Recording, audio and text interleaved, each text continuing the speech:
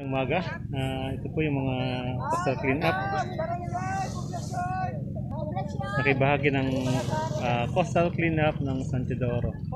Sa dalawang grupo po ito. Isang grupo ito nasa ilag at yung iba nandun sa kabilang ah, dulo ng coastal na to. So ito yung first batch o first group together with the PNP Barangay ah, Poblasyon at MDRRMO San Teodoro. Ganun din po ang LGU ng San Teodoro.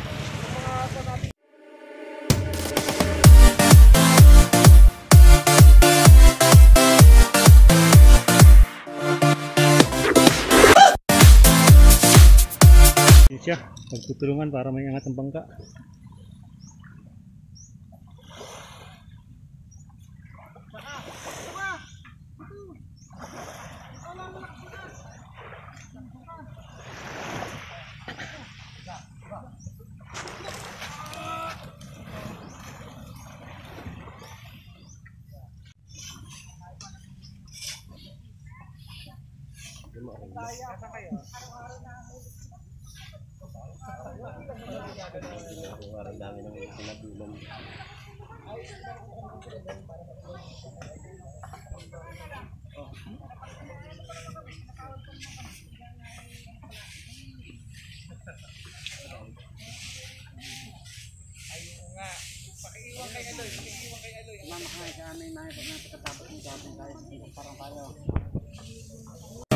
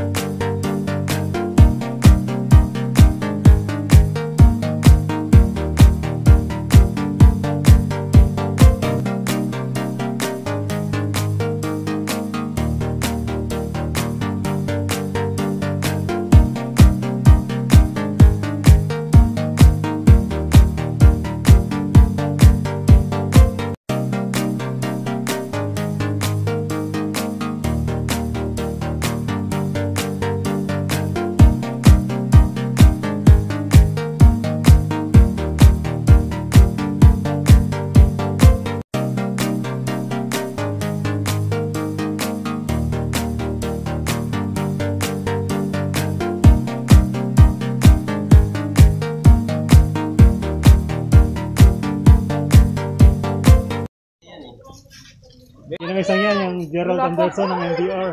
Modelo po namin yan. Naharap pa kami sa inyo ng pangyayon. Yun, isang yun. Yan, oh.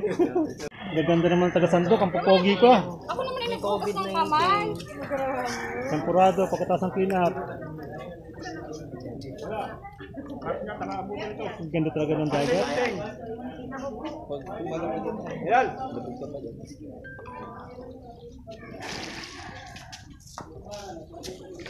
Yan, isa sa pogi kong kasama. Yun, oh. Ang lupit. Artistahin ng dating. Kayo dalawa ni may lang nalala namin. Ang Kaya sekretary ng barangay poblasyon. Hello po. Nasa ilang. Dito na. Tapos taga LGU ng San Teodoro. Nakatingin sa Hindi, video. Binuhot! Malay mo may pondo, karne, wala pa. Hindi ko pa makuha yung ano.